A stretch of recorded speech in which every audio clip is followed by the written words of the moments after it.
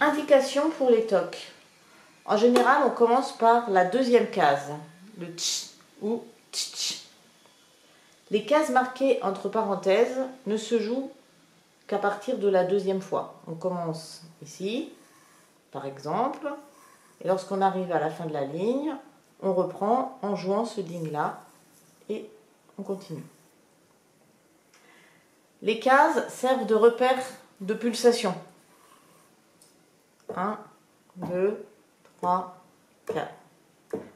Dong, dong, ding, dong, ding, dong, etc.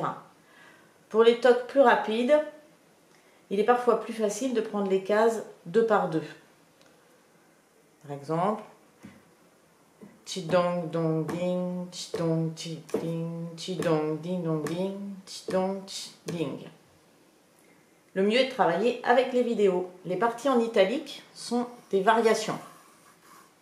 La base est écrite en caractère normal. Certains tocs se jouent sans frapper dans les mains. Le rythme est donc marqué entre parenthèses.